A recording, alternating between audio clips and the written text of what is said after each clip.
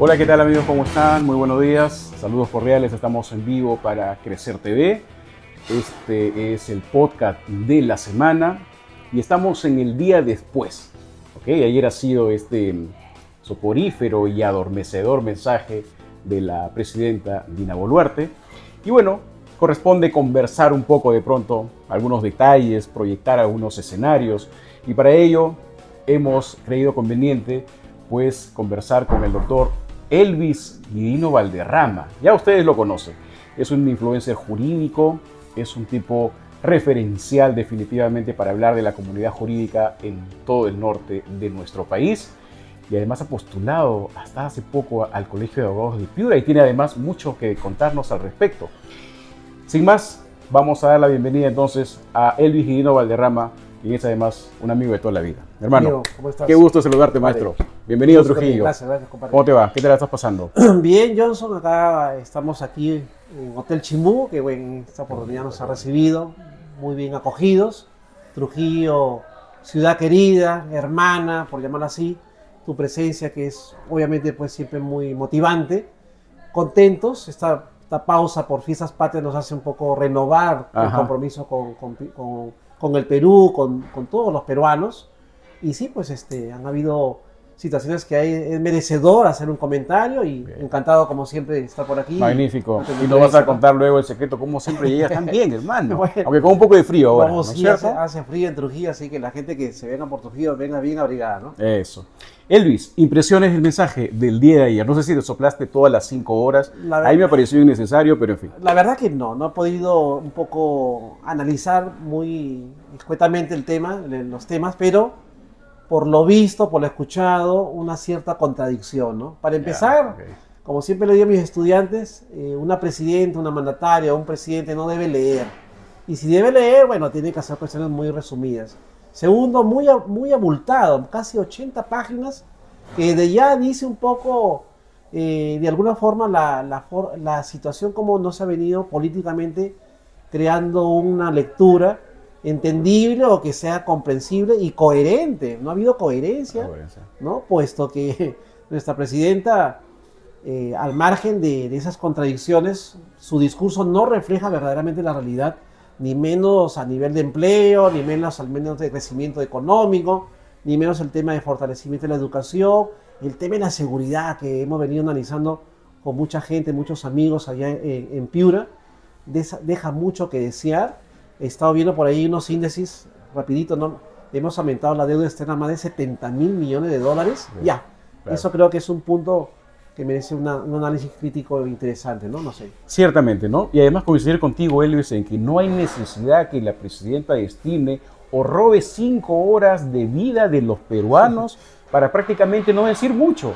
Todo eso lo hubiera podido hacer en 40 o 50 minutos máximo. No, y para ¿No que, se esté, para que se esté durmiendo su hermano incluso. Su hermano, el canciller, los secretarios, eso es un- está hecho. está- y no- ¿Cómo será el próximo este, mensaje si acaso va a tener Sí, un, un sí, sí, tercer mensaje? verdaderamente. Pero en fin, ya que hablabas de la seguridad, nosotros estamos de acuerdo en creo que en esta materia debe emprenderse una reforma sustancial. No va a tener de pronto una reforma en el, en el plazo inmediato, pero por lo menos va a cambiarle el nombre, ¿no es cierto? Y va a, gen- a generar una nueva estructura, me parece, del Ministerio del Interior al Ministerio de Seguridad Pública.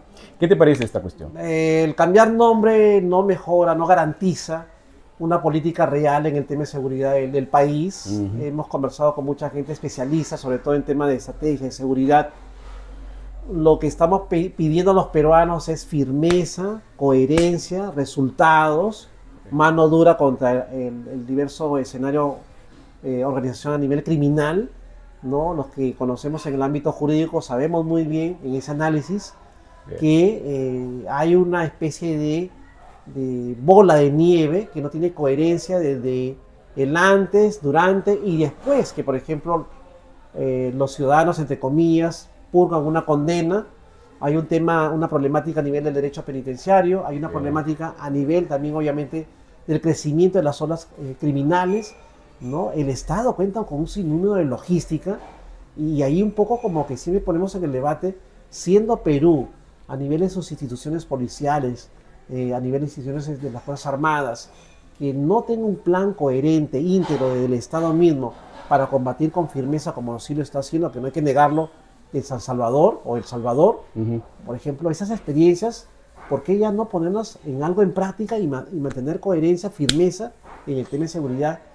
No podemos avanzar, por ejemplo, en Trujillo, en en tema empresarial, si no hay una seguridad. Hemos, Correcto. hemos vuelto mucho tiempo a, a Trujillo, muy bonito, interesante, pero siento de que el país en su conjunto podría crecer más en la medida que tengamos seguridad, ¿no? Y además que no se agoten las posibilidades en la declaración de emergencia que hasta ahora ya sabemos no ha servido para nada. ¿Para qué? Ya vemos Ah. cómo está Patás en este momento Así aquí en la libertad, así es, así que incluso está expandiendo su influencia, su influencia y peligrosidad en otras zonas aledañas donde a veces no se tenía ese tipo de noticias, ¿verdad? Así es. Entonces es una cuestión que hay que atacar de fondo, pero no hay esa voluntad. No hay esa voluntad. tú muy bien dices, esa nomenclatura no va a, no va a bastar para, para generar cambios. ¿eh? Y, a, y a tocar, y tocando, por ejemplo, el tema, ahorita que estamos un poco eh, latentes, pendientes en el tema de la seguridad a nivel de la región. Bien. No, no, no es tampoco positivo o expectante lo que está pasando, por ejemplo, ya desde luego en Venezuela, que lo comentamos en alguna oportunidad, ¿no? Eh, Chile, Bolivia, Colombia, Ecuador, ¿no? El tema, del, el tema criminal es un tema también de contexto global, de, de región, obviamente con una mirada interna. Entonces ahí hay, hay un poco que hay que tra- trabajar, no solamente a nivel del Estado como política interna, sino también como Estado a nivel del grupo, Ajá, la región, ¿no? Ya correcto. tenemos ahí hay una desazón y hay también una, una especie de, eh, de una firmeza propia, de coherencia, como yo siempre lo digo, a nivel geopolítico de la región, que Bien. en seguridad tiene que manejarse interna como externamente. externamente, ¿no es cierto? Ahora, ya que hablabas del Estado como tal, ¿no es cierto? Ah, ¿Qué es lo que pasa cuando tú ves al Estado que a pesar de todo funciona, pero que en realidad para cumplir sus fines necesita una reforma? Ya me parece que de alguna forma con esta fusión que intentan generar, de pronto están dando algunos pasos, pero por el momento vamos a crear un nuevo ministerio, que es el Ministerio de la Infraestructura, que es algo que ya muchos vienen incluso este, alentando desde hace varios años, ¿no es cierto? ¿Cuál es tu impresión al Es respecto? un engaño muchachos, voy a, voy a decirlo como decía mi padre, es un engaño muchachos, porque ya los ministerios ya existen, ya tienen Ujú. una línea de organización, una, una línea de trabajo. Ajá. Cambiarle un- a un ministerio, me ahorita se me viene en la mente cuando en Brasil hablaban de impulsar el deporte, la educación, y pusieron por ahí un ministro de deporte, cuando el deporte ya está constituido como base de la educación en las constituciones este, a nivel de Latinoamérica. Entonces, me parece que hay que ser, sobre lo que ya tenemos, Ujú. ¿no? Eh, manejar Ok. una reingeniería, pero que sea coherente con el clamor de la sociedad, lo que está haciendo mi ley, que ya en su momento, ya de poquito a poquito va reflejando en Argentina, por ejemplo, eh, esto de el Estado en crisis, reestructurarlo, hay un, un excesivo gasto, ¿no? Como él decía, ¿de qué me sirve tener 10, 12 ministerios si podemos integrarlos, pero que se refleje el resultado en la economía de argentina, por ejemplo, que se refleje el, el resultado en la inserción de, de- de fuentes de empleo para mucha gente en Argentina. Algo así podría haberse manejado, pero no pensando de que la varita mágica, la respuesta es cambiar nombres y ahí vamos a encontrar la solución. Pero pienso Bien. de que ahí pecaríamos los peruanos de creer de que por ahí es la salida, ¿no? Efectivamente. Además, este, lo bueno de pronto en todo caso es que han intentado este, abordar esta problemática de la infraestructura que involucra muchas cuestiones. Simplificación del Estado, corrupción, ¿no es Mm, cierto? así es. Especialmente y evidentemente impunidad. Ahora, tú tocas ahí un tema muy interesante, el tema de corrupción, por ejemplo. Sabemos que la corrupción está en el Estado mismo. Hay, o sea, no puedo tampoco eh, agrandar el- el- la, la mirada a todo el Estado, pero hemos hecho un análisis hace mucho tiempo que es a partir de los mismos poderes del Estado Bien. que se necesita un poco hacer un lavado La corrupción tiene un traje de burócrata. por supuesto, Lamentablemente. por supuesto, ¿No es lastimosamente, ¿no? O sea, es entendible que la corrupción podría estar en la sociedad misma, haciendo mea culpa, pero que la corrupción entendida, que es, un- es una constante que se viene repitiendo en Latinoamérica, esté en los poderes, Ajá. eso ya como que pone en tela de juicio el Estado de Derecho, pone en Bien. tela de juicio el tema democrático, pone en tela de juicio la desmotivación y la desazón de la gente. Entonces, mi preocupación como peruano es eso, ¿no? Que, que, que no se está haciendo nada por verdad- verdaderamente cambiar, o en todo caso, en la agenda que hacía la ONU en su momento para el 2026, tener ese matiz, esa perspectiva, ¿no? Perfecto. Ahora, ya que hablas sobre la corrupción, un tema que no podemos desligar es el tema del Congreso. ya tenemos un nuevo presidente, ¿no es cierto?, vinculado precisamente a este tipo de estratos. ¿Tú crees que, como yo digo siempre, Elvis, aquí el principal problema no solamente es la corrupción, sino también la impunidad, que esta vez alcanza a todo tipo de funcionarios del Ejecutivo y del Congreso y que se ríen en ocasiones como esta en la cara pelada de los peruanos? Sin ir muy lejos, tenemos en Piura siete congresistas. No, no he visto una cohesión, no he visto una unión que se preocupen los siete congresistas. A ver, señores, dejemos de lado nuestras ideologías partidarias y pensemos en Piura. En la misma réplica no he visto la coherencia, la unión, la cohesión de los congresistas que se unan por el Perú, ¿no? Bien. Por situaciones neurálgicas, por proyectos de ley que son cruciales en este proceso de, de poder haber crecido Y, se ha perdido, y Piura cada vez más influencia, porque Por es la segunda de ciudad del población, Perú con mayor pobla- población. Así es, así ¿Eh? es. Entonces, si tú vas a Piura, bueno, vas a encontrar que verdaderamente eh, se nos hace creer de que estamos avanzando, que Ujú. Piura está creciendo, pero eso engaña muchachos, nuevamente.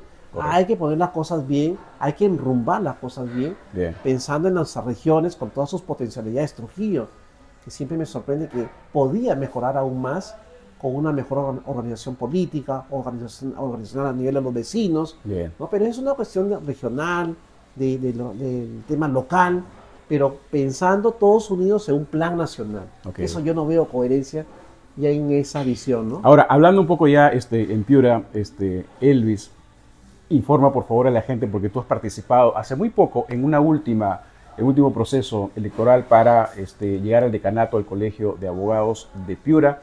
No se pudo esta vez, mucha gente pensaba encontrar de pronto un poco decaído, sin mayores planes, al doctor Elvis Guilino, pero en eso te pareces un poco a mí. O sea, cuando te va peor de pronto, sacas fuerzas de flaqueza y los proyectos empiezan por todos lados. No vamos a contar todos tus proyectos que tienes de aquí para adelante, pero sí me gustaría que de pronto informes un poco a la ciudadanía qué significó para ti esta derrota electoral última que has tenido en, las justas electorales en el Colegio de Abogados y qué, pre- qué- qué aprendizaje has sacado de todo ello. Bueno, que es, hay que seguir luchando, hay que se- seguir eh, batallando, porque son las instituciones las que convocan a la gente pensante, la gente buena, la gente con esa visión de querer cambiar también al país, a Piura en este caso, desde nuestro querido Colegio de Abogados. Yo quiero aprovechar el espacio que tú nos ofreces para enviar un saludo a la gente de Excelencia Jurídica, a los Excelencia, ¿no? colegas de Piura, Bien. ¿no? Que, que de alguna forma siguen a Elvis Guidino, ya no estamos en campaña, pero para mí al contrario, es- ha sido una experiencia muy interesante, muy gratificante de poder en esta oportunidad, ¿no? Agradecer, me han hecho la invitación para ser parte del Partido de Integridad Demo- Democrática, ¿no? Ah, mira, Y- y de gran general Wolfgang Grosso. Sí, sí, con- Gran tipo, ¿eh?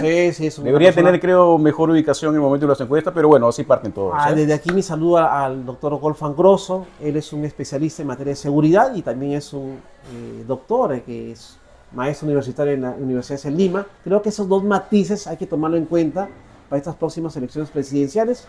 No te has derrumbado entonces, no, No, te has no, no, no, deprimido, no, estamos- te has caído al Estamos bien, suelo. estamos ahorita con Integridad Democrática. Nos ha, nos ha convocado el, el decano, el doctor Hernán Ruiz Arias, a la cual le envío un saludo. Le- Es que tú tienes deseo- proyectos que has venido trabajando ya varios años, ya has visto su factibilidad. Sí, Entonces creo que sería una sí. pérdida de tiempo no aprovecharlos, No, a no, pesar no. que estás en listas distintas. Ya, ya lo voy a visitar. eh, Estamos en coordinaciones porque nos ha pedido el apoyo de excelencia jurídica. Le dijo, señor decano, le envío un saludo de aquí. Vamos a visitar a su despacho. Vamos a compartir no solamente uno, sino tres proyectos de excelencia jurídica porque pienso que a estas alturas, a este nivel, debemos compartir para poder avanzar. Entonces, en ese concepto, mi apoyo al Colegio de Abogados, al agremiado. Estamos ahorita pensando en el compromiso con el país de, de de- de integridad democrática. Y bueno, eh, la experiencia de... Hay derrotas que terminan siendo triunfos. Ah, ya, lo digo, ¿no? efectivamente. Hay derrotas que supuesto. terminan siendo triunfos. No, estamos muy bien, motivados. La fuerza de la familia, de los amigos, la fuerza de Dios, de, mis, de mi familia, de mis hijas, hace que yo siga con este ímpetu. Ahora pensando en temas políticos partidarios y el tema del país. Muy ¿no? bien, magnífico. Y además tú tienes toda una trayectoria que avala tu postulación para cualquier cargo público. Y esto no es que sea un cherry porque se trata de mi compañero de promoción, pero es que lo hemos visto bien y la gente lo reconoce.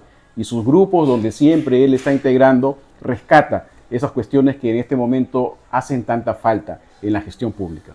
Elvis, yo quiero agradecerte muy de veras que nos hayas conseguido este espacio. Yo sé que estás ahí con tu agenda, pero para todos lados aquí en Trujillo. Que sigas pasando unas magníficas fiestas. Un gran saludo para tu familia, para los amigos enormes de Piura, para toda nuestra gente, de amigo de, de compañero de promoción también. Gracias, gracias. Y por favor, un, un último mensaje de pronto para la gente que nos está viendo y saludándolos también por, por estas fiestas este, peruanas. Saludarlo de todo corazón por las fiestas patrias aquí, desde Trujillo, sobre todo a mi familia, a mi madre, a mi tía, a mis hermanos, a mis hijas que las adoro, ¿no? a la gente de excelencia jurídica que seguimos ahí eh, caminando con otros proyectos de orden eh, eh, educativo, académico. ¿no? Se viene por ahí, estamos lanzando un proyecto, te lo lanzo en primicia, la cooperativa de excelencia jurídica que la estamos convirtiendo en asociación. Ajá.